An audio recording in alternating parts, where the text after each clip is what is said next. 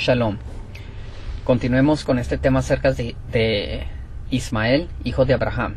Ahora, sabemos que existe una relación con este tema a los musulmanes o a Islam, que son uno y el mismo.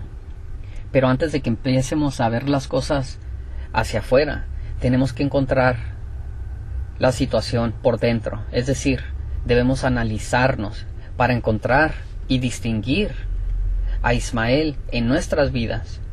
Así, confrontar la situación, superarla y movernos adelante, que al cabo no es Ismael quien recibe la, la herencia, sino Isaac, porque esto es de promesa, elegidos para recibir la promesa, para que de esta forma sea la completa voluntad de, de Yah y no del hombre.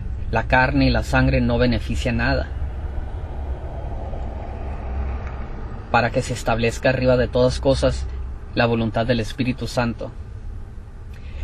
Y debemos entender que si nosotros somos quienes decimos ser, debemos manifestar todas las escrituras de principio a final sin, sin quedarnos atascados o atorados en una cierta en una cierta escritura y vivirlo, así manifestar la palabra por completo en la carne. ¿Qué estamos tratando de decir? Pues vean aquí, ¿quién es la madre de Ismael? Algunos van a decir Hagar, y ciertamente en la carne pues se podría decir que sí lo es, pero en verdad es fruto de las acciones que tomó Saraí. Saraí y Abraham, habiendo ido a Egipto, perdieron fuerza espiritual, queriendo sustituir lo que es espiritual con recursos materiales, resignándose a, a tener que regresar al mundo para, para ellos supuestamente recuperar lo que no puede ser recuperado en el mundo. Las riquezas del mundo se convierten solamente más que en un yugo en el cual cargamos nosotros como un peso innecesario que nos incomoda en nuestro crecimiento espiritual. Saraí, por esta razón, obtuvo lo que es Hagar, su sierva, y fue por esa falta de fuerza espiritual que Saraí decidió que porque como ella no había no había concebidole simiente a Abraham, ella creó que pues tal vez ella va a ayudar a Dios, porque Dios tal vez no es capaz o tal vez la fe no existe para creer que Dios es poderoso para, para producir simiente eh, de Saraí a Abraham. Por esta razón se le ocurre a Saraí, Abraham, ¿por qué no entras y tomas a mi sierva por mujer? Así, así tengas tu simiente mío a través de mi sierva. Este fue el error. Pero este es un error el cual tiene corrección. Y Saraí hace lo correcto, lo reconoce, confiesa el error que cometió y toma un cambio de actitud. Se empieza a comportar diferente. Toma control de la situación y no deja que la situación tome control de ella. Empieza a maltratar a, a. Ahora no estamos diciendo que maltraten a, a nadie, pero este es un problema interno, algo que está sucediendo dentro de Saraí expresado para que sea un ejemplo a nosotros, se está expresando el conflicto interno en una manifestación externa.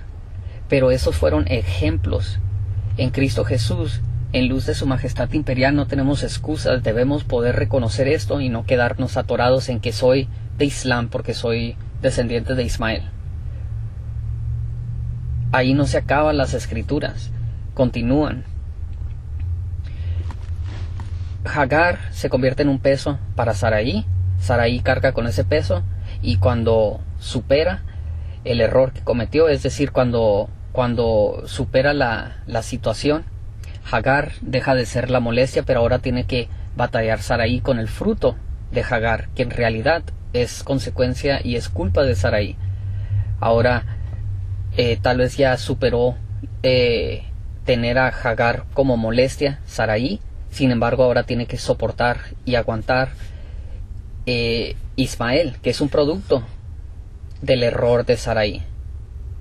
Pero cuando el tiempo pase y vemos que a los 13 años se cumple el tiempo en donde el alma y el espíritu se, se restablecen, se balancean, se, se llegan a, a un ser completo, es decir, una unión sin dificultad, el problema fue, fue superado, entonces abre paso y libera a Saraí de cualquier yugo no necesario para que ella pueda andar libre y crecer en el espíritu.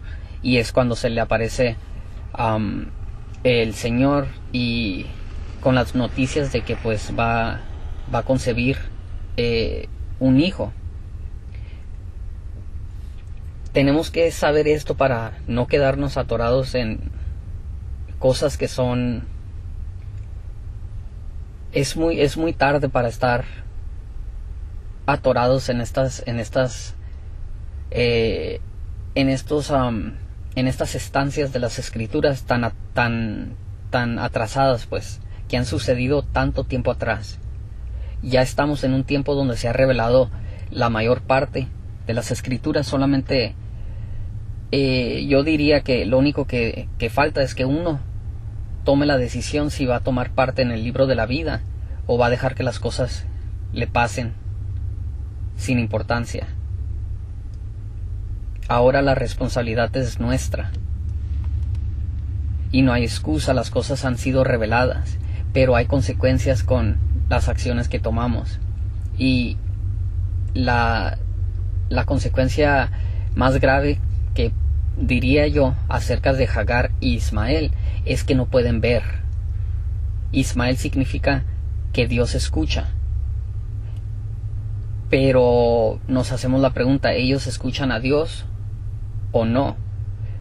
Hagar en la fuente dijo, eh, ver la Jairoi, la fuente de, del Dios viviente que me ve, más hace la pregunta Hagar, mas yo, no, mas yo lo he visto a él, es decir, Hagar testifica que ella no vio al Señor.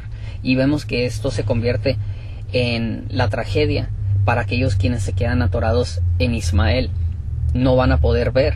Y ahora Ismael no solamente es para Islam y musulmanes, hay Ismael en rastas, hay Ismael en, en cristianidad, en catolicismo, en todas las religiones. Esto es más grande que la religión. Esta es una obra supernatural que vemos que se que por no cuidar a, a las ovejas, se podría decir, dentro de cada uno de nosotros, por no enfocarnos en, en el crecimiento personal espiritual. Y vemos que se ha explotado un pequeño retraso en la vida personal se ha convertido en una manifestación gigante en la cual participan millones y millones de, de habitantes sobre la Tierra, formando parte de esta conciencia, que es un retraso. Y no es para decir que la gente está retrasada mental, pero es un retraso en espiritualismo, en la espiritualidad. Vemos que se forman gigantes grupos de gentes que expresan la misma imagen de un error en la escritura. Claro, el error se utiliza para castigar a uno y para que continúe adelante y purificándonos en el castigo, así superándolo y se multiplica a bien y no a mal. Así es que no podemos culpar y no nos debemos de quedar atorados porque todo propósito funciona para establecer la voluntad de Él, quien es bueno. Su voluntad inevitablemente se establece aunque puede parecer que el castigo es por, por un corto o largo tiempo, es un proceso de purificación para, para amendar el error y, y corregirnos por dentro, en lo interno, para así seguir adelante. Y cuando lo superamos, entonces vemos que incluso el error nos da fruta. Pero el mundo se encuentra en, en estos estados eh, psicológicamente congelados, sin movimiento, y rastas también, principalmente. Eh, unos en apostasía, creándose falsos dioses por sí mismo y otros en ignorancia. Ahora, es muy importante ver al, a lo personal por dentro y descifrar las escrituras en uno mismo. Y sé que tal vez algunos estén pensando, pues parece que tú nomás hablas de otra gente. Vean aquí, mucha gente dice, oh, esta es la, la completa verdad. Esa es la diferencia. Lo crean o no, e, esto es la verdad. Y por eso es que puedo testificar estas cosas. Pero sé de estas cosas porque primeramente miro Ismael por dentro. Estuve contemplando con la hermana y, y le empecé a decir, ¿sabes qué? No, yo no, yo no creo que, que, que los musulmanes ni siquiera son Ismael en realidad. O sea, claro que sí quedan en la descripción y claro que sí son de Ismael, eh, pero pero empecé a contemplar el hecho que ahí no empieza el problema. Yo veo a Ismael en cristianismo. De hecho, veo a Ismael en el judaísmo. Veo a Ismael en todos nosotros que no podemos ver lo que es espiritual, que no podemos decir, he aquí el león conquistador de la tribu de Judá, raíz de David, ha vencido para abrir el libro y desatar sus siete sellos. No, no requiere de gran misticismo o de poderes mágicos, de fuerzas superhumanas. El quién ha sido ungido con el título León Conquistador de la tribu de Judá. Nadie, solamente Su Majestad Imperial Selassie I. Es, un, es algo muy sencillo y muy fácil para que unos dijeran, hey, eso, eso está escrito en el libro de Revelaciones, de Apocalipsis. ¿Por qué no le damos un repaso? A ver, a ver qué está sucediendo. Pero no podemos ni abrir los ojos para ver hasta lo obvio. ¿Por cuál razón? No es tan obvio porque sufrimos de Ismael, no podemos ver, porque no somos de la promesa, somos de la carne, debemos superar esa estancia, porque la promesa no es para para judío, no es para griego, no es para cristiano, no es para rastafari, es para todos quienes quienes estén dispuestos a superar la carne y, y sufrir la voluntad de Yah, es decir, dejarlos ser, que así sea, lo que, lo que haya sido manifestado, que haya sido la revelación del Creador, que así sea. Si uno lo acepta, uno recibe de la promesa, porque quiere decir que uno ha superado la carne. Bueno, eh, esto de no poder ver y no estudiar por uno mismo causa otro problema.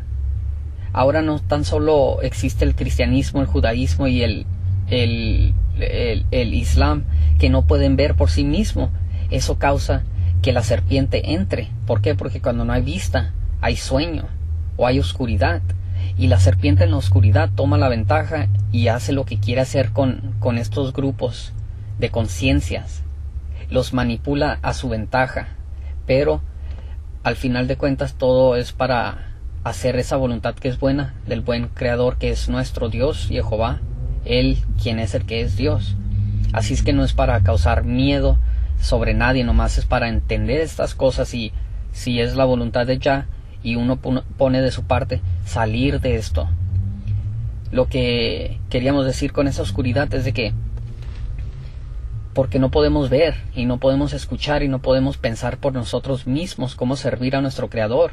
Entran gente que dice, oh, pues nosotros musulmanes debemos atacar a toda gente. Y esto no es, yo sé que no es cierto. Y tal vez sí lo sea, y si sí lo es, pues ¿qué podemos decir? Más que yo pienso que la gente debe tener un poco de más inteligencia para decir, para no poder, para no caer en una tontería tan, tan, tan ridícula. Si dices creer en un Dios que es bueno y te convencen de que tienes que hacer actos de terrorismo, eh, O sea, no hay excusa, no, no está tan difícil. Y no es para decir que Islam o musulmanes, los quienes son verdaderos, que son terroristas. No, y no estamos atacando a Islam. Como dijimos, hay Islam en rastas, en judaísmo, en cristianismo y en Islam. ¿Por qué no hablamos del terrorismo de los, de los hijos de Islam? Digo, disculpen, de los hijos de, de Ismael en el cristianismo. ¿Cuántas atrocidades e injusticias se han cometido en el nombre de Jesús Cristo? Colonización, eh, el genocidio de, de, los, de la gente indígena, esclavitud, o sea, todo en el nombre de Jesús Cristo existe. Quiero que todo sea parejo, quiero que todos vean que no estamos atacando el Islam diciendo que todos son terroristas, no. Los que no pueden pensar por sí mismos se dejan llevar por malas influencias y el diablo hace con ellos lo que él desee. Pero igual con el cristiano. Y, y mi punto principal es que Ismael no es de Islam nomás. Ismael existen esos personajes que están atrapados en esa conciencia retrasada. Y no es decir que, que, están tontos o retrasados mentales, nomás es decir que ya pasó. Ya, ya no estamos para estar atorados en esos tiempos, tenemos que movernos adelante. Ismael está muy atrás en las escrituras para estar batallando con, con algo que, que ya deberíamos de haber superado hace tanto tiempo. Al menos hay que entrar a, a David o a Salomón o quizás al Nuevo Testamento. Por favor, diría yo. Y no es para... Y, bueno, que quede claro que todos iguales. Hay Ismaeles en todas las religiones. Veamos aquí los rastas. Los rastas también eh, sufren de, del odio que, que, el odio causó, demostrándose ser odio. Muchos piensan que, que porque tienen piel oscura o negra, los hace superior o sea, actuando de la misma forma que el enemigo actuó contra ellos. ¿Qué, hay diferencia entre uno y el otro? Los rastas, eh, ciertos grupos se han decidido hacer falsas imágenes y, convertirse en, otros dioses. Debes de recibir a su majestad imperial. Estos también son como Ismael, no pueden ver. O deciden ver lo que les conviene ver. Los judíos que dicen ser eh, unos mentirosos, nada más. no, no, o sea, tanto que andan en las escrituras según ellos y no pueden ver estas cosas, los judíos, o sea, gran parte de los judíos dicen que la Trinidad ni siquiera existe. en estas lecturas semanales se le acaba de aparecer a Abraham y Abraham sí lo vio porque se le apareció el Señor en tres personas. Eso nomás es una, una de las... La Trinidad está inculcada en toda la escritura del principio a final es, es la más grande tontería decir que no existe. De hecho, si estudias electricidad, si estudias eh, eh, las moléculas de, del cuerpo, si estudias las, el, eh, no sé cómo traducir las palabras, pero como um, los, si estudias todo tipo de ciencias um, disponibles al humano, la Trinidad está presente en todo y no puedes separar la realidad de la, de la verdad, porque es una y la misma. Entonces queremos solamente ser parejos en expresar que todos tenemos individuos ismaeles en nuestros en nuestras fe. Es tiempo de reconocerlo, superarlo y seguir adelante.